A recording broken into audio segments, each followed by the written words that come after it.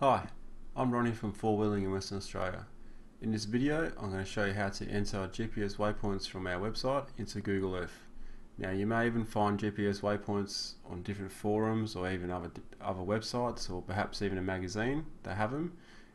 Most of those you should be able to enter into Google Earth. Okay, so let's get into it. First up we'll need Google Earth. So to ensure that we get the correct one go to your Google search browser and type Google Earth. Alright, download Google Earth. Now don't mistake Google Earth for Google Maps, they're two very different things. Okay, so here we are. Download latest version of Google Earth, PC, Mac or whatever. Um, follow the prompts, agree, download, do all that, install it. Once you've done that, then you'll have something that looks like that.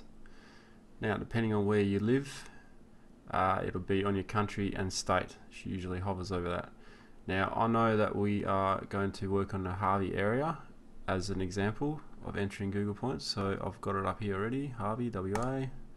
I'll just type that in for a quick reference so it just takes me down there. So here we are in Harvey. Okay, I'm just going to zoom out a bit because I know the area we're going to work in. It's all around there. Alright, so now we need the points to enter. So what we do is back here to a Google search page and we'll type four wheeling, enter four wheeling in Western Australia homepage. Okay, so 4x4 off-road tracks, 0 to 250 kilometers of Perth. We'll click on that. We'll scroll down till we find the Harvey. Now, every single track in here has waypoints on them. Now, bottom of this page is where the waypoints are. So here we are, GPS waypoints for Harvey Hill Climbs. First one is meeting spot in Harvey. Right, so now we have located the page we need to use. So now we're going to go back to Google Earth and what we're going to do is this icon up here we're going to click on that and that will put a place, an untitled place mark in the center of the view of the map that you have on your screen. Untitled place mark. So that's what, what we'll do here is we'll go back here and we're going to grab the name from here. Now this isn't super important. Control copy, so control C to copy, back to Google Earth, highlight that, Control V to paste, meeting spot and Harvey. Okay, I'll do this so I'll, if I don't, if we don't put the name up here, we're going to end up with um, 14 waypoints of untitled place mark. That's just going to get too confusing. Alright, so back now we grab the super important stuff. Latitude. Go back to Google Earth. So it's another copy and paste paste, back in, longitude, copy, Google Earth, paste to Google Earth. Alright, ready? So when I click on OK, that mark will move to its appropriate place. There we go. So I went from here to there. Now I'll do a second one. After that, I'll pause this video and I'll enter all the other points. That way we're not going to drag the video out for too long. Alright, so next point. Here we go.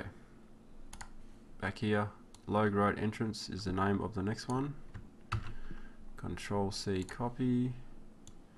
Control V paste. Now I'm going to grab the latitude. Paste.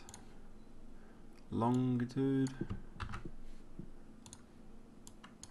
Paste and there we go now we've got the first two so I'll pause the video and we'll come right back when all the marks are in.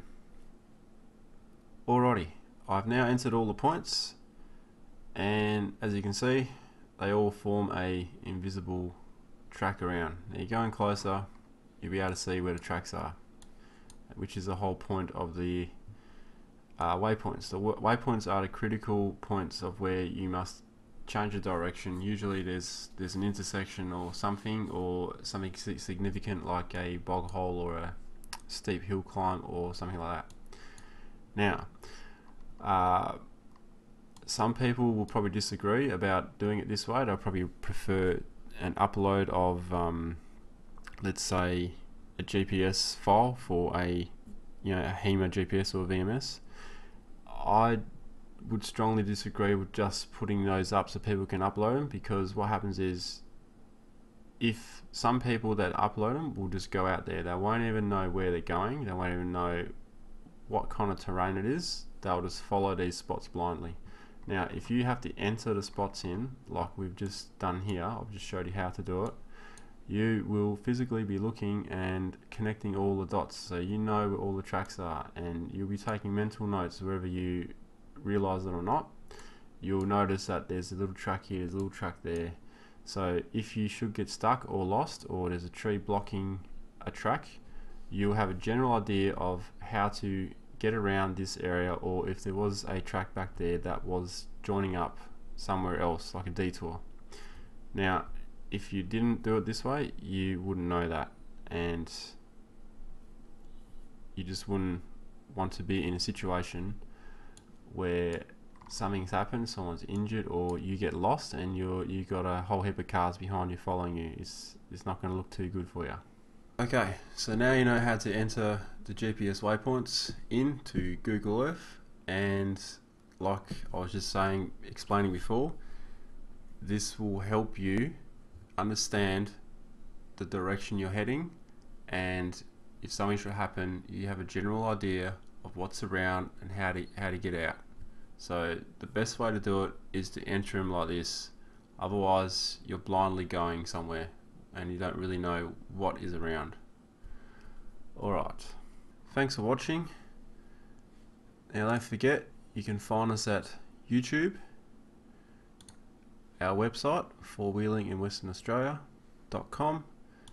Facebook, and Google. Subscribe if you found a video useful, and any questions, put them in the comments box below. Uh, we'd like to hear from you, and I'll catch you out there. See ya.